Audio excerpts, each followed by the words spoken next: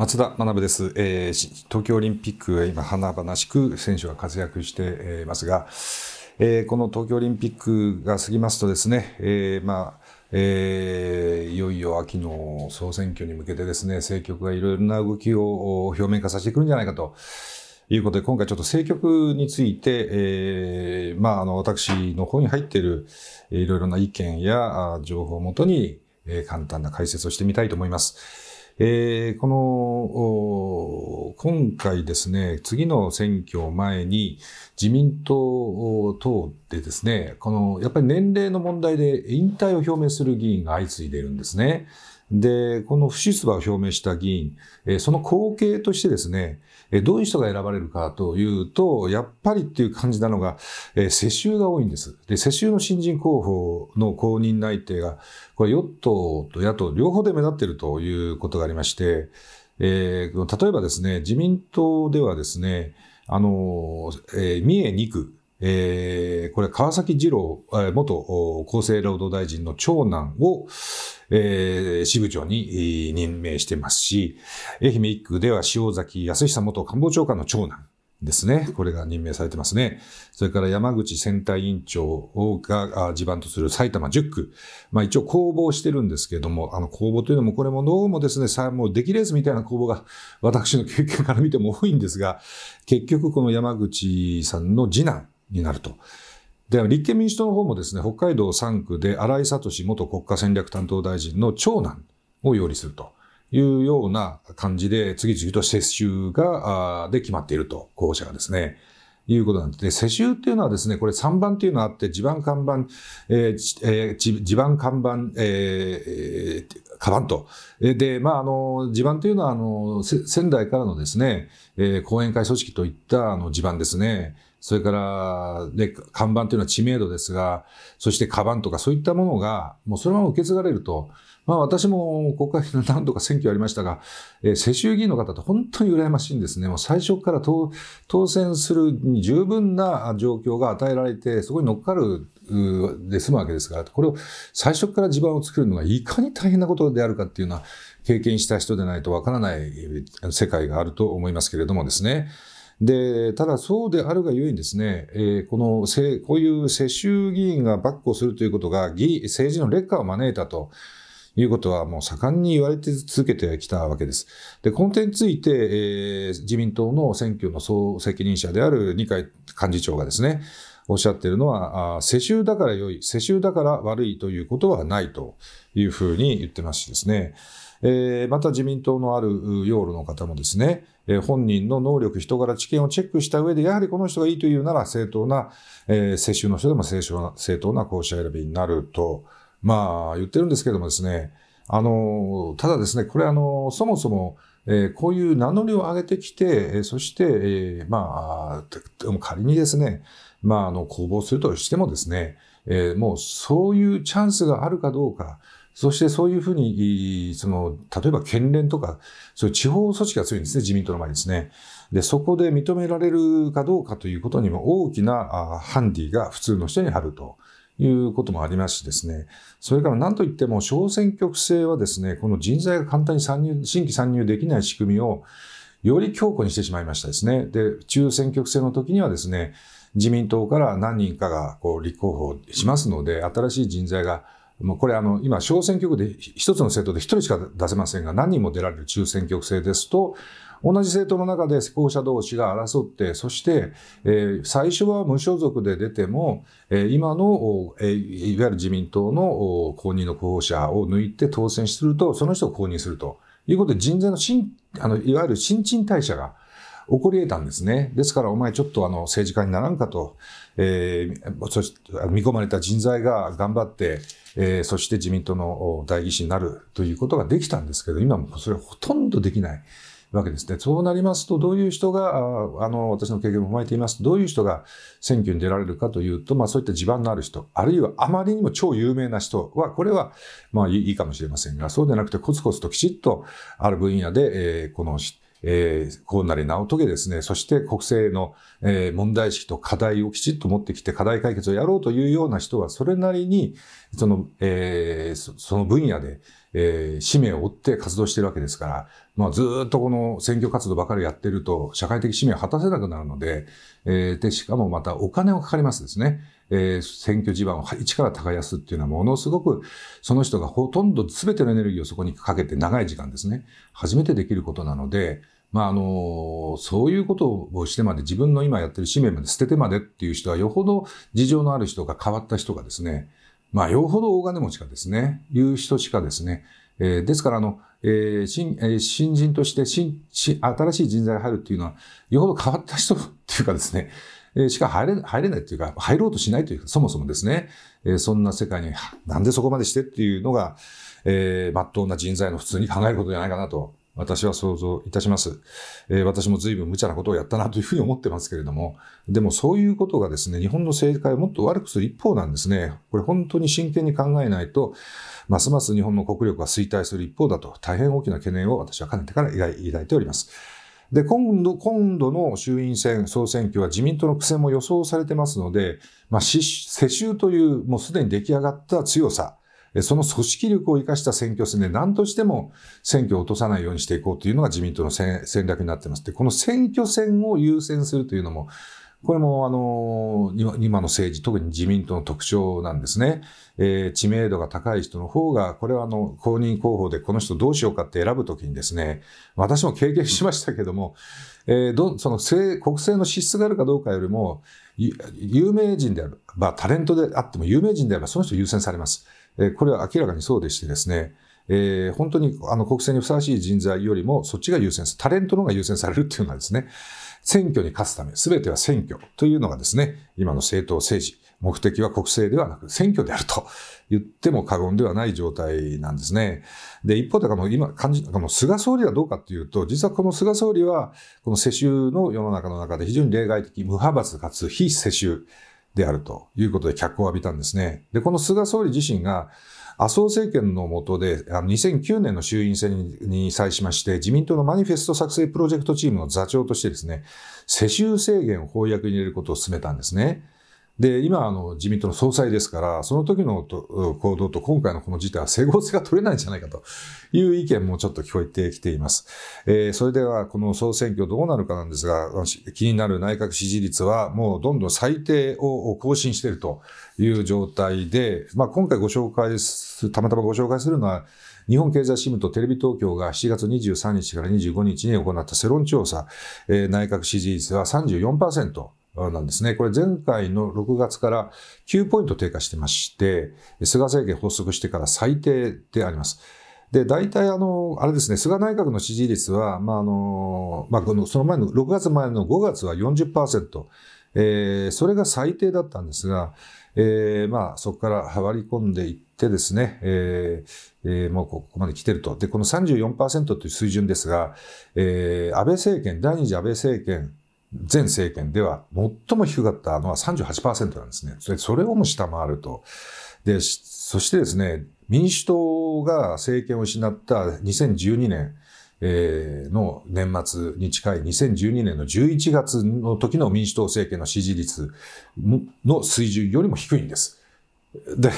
で、さらにですね、一連の世論調査は、まあ、大体40%以上だったのが、このところに来て30%台多い中で、時事通信は先般29%台。で、3割を切ると危険水域と言われてますが、まあ、こういった状況を総合すると、かなりこの、今度の選挙は、今の内閣支持率で見ると厳しいというふうに見えます。で、今回のあの日経新聞とテレビ、テレ東のやったあこの世論調査では内閣を支持しないという方は7ポイント増えて57%。これはあの2012年12月以降で一番高い不支持率だそうです。えー、しかも支持しないが支持するを上回るのは3ヶ月連続ということになっています。えー、まあ、政党全体の支持率で見ますと自民党はとりあえず38%でトップを維持してますが、これは6月の43%から5ポイント下がっています。2位の立憲民主党は9%でほぼ横ばいで、増えたのが支持政党がない無党派層35%で4ポイント上がっていると。まあ自民党の支持が減って、その分無党派層、ね、が増えているという構造がここでも見られますね。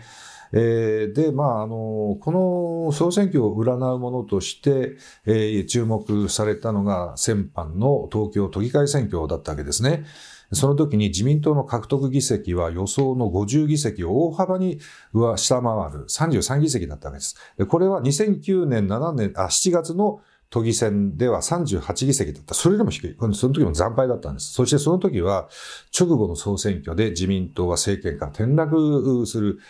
わけなんですね。えー、で、あの、まあ、の、民主党政権に移る直前だったわけです。で、こういうふうに見ていきますと、やっぱり今度の総選挙厳しいですね。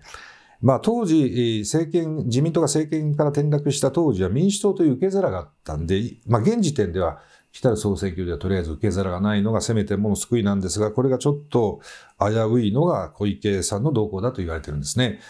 で、今回ですね、都知事選ではですね、都民ファーストという受け皿があっただけでですね、えー、都議会選では、えー、自民、公明、自公は過半数を割ったわけですね。で、もしあの総選挙で既存の政党以外に新しい都民ファーストのような受け皿ができれば、自公政権は政権転落もあるんじゃないかなという予想も立ちうるわけですね。まあ一般にあの大きな経済危機とかですね、社会不安が起こるとですね、政党、政権の支持率は下がるんですが、今回はさらに、まあ西村大臣のゲシュタポ西村大臣なんても言われてますけどもですね、ああいう措置も非常に不人気ですしですね、まあそれで、えー、自民党の固定的な支持基盤である、えー、酒の業界がそこを見てしまってますね。えー、さらにあの、今回ですね、コロナ対策の魔女狩りの対象になったら飲食店。飲食店というのは結構、え、中小の飲食店をまとめると大きな評伝なんですね。で、ここまで多分、もともとこの中小の飲食店をまとめる評伝が長いないんです。これはまあ前から有名な話なんですけれども、で、ないからこそ、えー、このまとめる政治、え政治勢力がないからこそですね、えー、魔女狩りの対象になっちゃったって面もあるんですが、ただ本当はこの、このあたりをまとめるとかなりの評伝になるんですね。ですから、どうもコロナ原理主義で、この全体が見えなくなっている。まあ、政局とか政治戦略もすでも、すらも見えなくなっている視野狭窄がですね、起こっちゃってるんじゃないかなということも心配されるところですね。まあ、正解、えー、もうコロナ脳が蔓延してるのかなというふうなあ感じになるんですが、で、そこで小池さんがどう出てくるかなんですけれども、あの、新田さんがですね、あの、先般このチャンネルで対談でもおっしゃってたように、この方は意表をつく方で誰も予想しないことをやるということなので予想ができませんが、ただいろんな状況を見ていますと、ご本人の年齢が先日69歳の誕生日を迎えて、やっぱり70代になってくると総理を狙う年齢としてはですね、やっぱり今度の総選挙でそろそろ国政に戻らなければならないんじゃないかなという話もあります。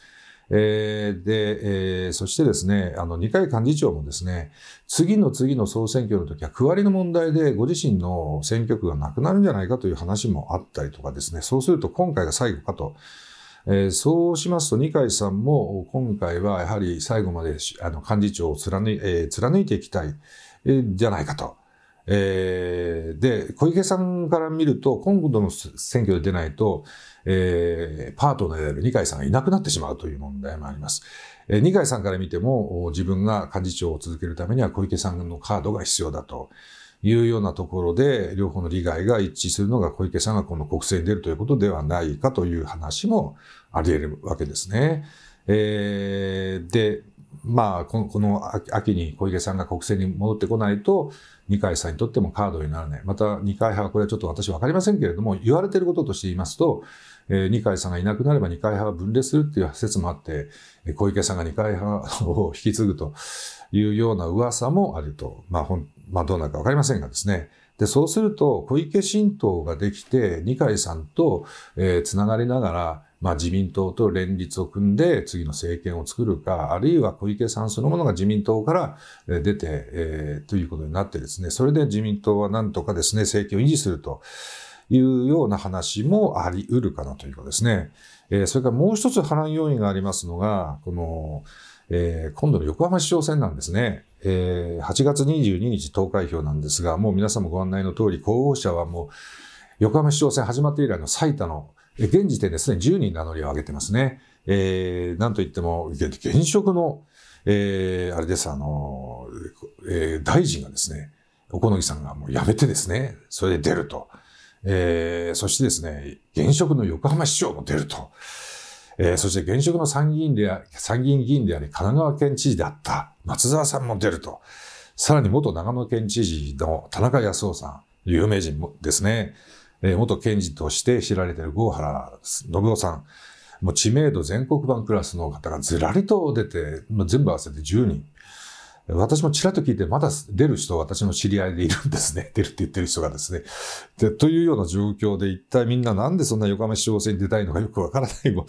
ところもあるんですが、ただこの中で、まあ、あの、自民党が落とすとですね、菅さん、足元なんですよね、あの横浜市っていうのはですね。で、そこで、まあ、すでにですね、この乱立状態のについて、え、菅総理は地元のハンドリングもできない、できないのかという批判もあるようなんですけれども、ここで落とすと菅さんでは総選挙は戦えないなんて話も起こってくるんじゃないかという予想もあります。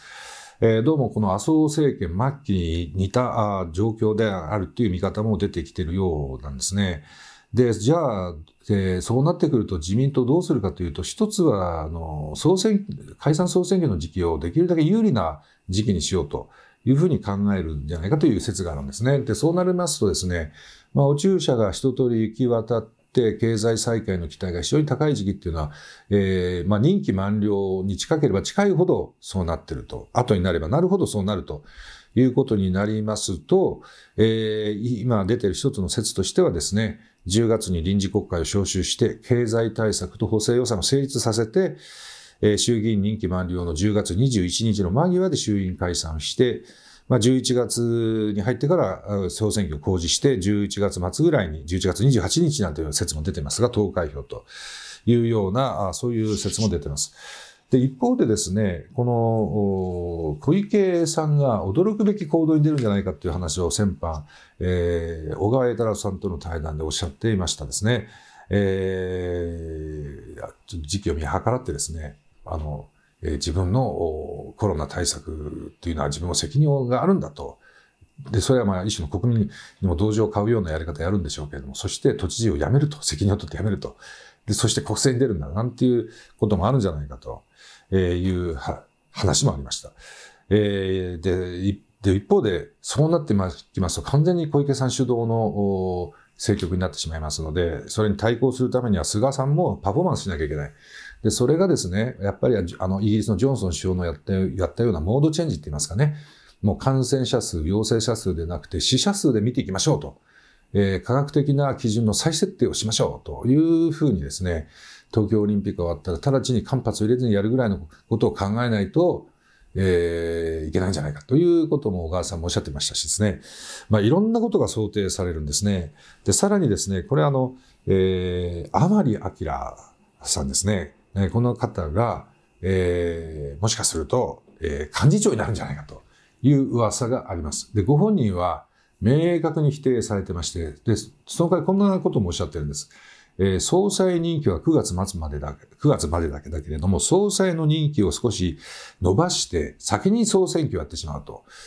で、そうなりますと、仮にこの菅おろしが出てきてもですね、とにかく総選挙で何とか勝てば菅政権がまた続くというふうに踏んでおられるのかどうか、私にはわかりませんが、えー、まあ、菅では戦えないなんていうことを封じるということもあるのかもしれませんけれども、まあ、いずれにしてもですね、東京オリンピックのこの、えー、今の、えー、まあ皆さんが非常に選手のスポーツ、えー、パフォーマンスに関心を持たれている時に、この間にですね、水面下でいろんな政局の動きがあって、そしてこれが一気にいろんな動きが出てくるのがまず横浜市長選から始まって、この8月下旬ぐらいからですね、政局は非常に面白い展開になるんじゃないかなというふうに思います。どうもありがとうございました。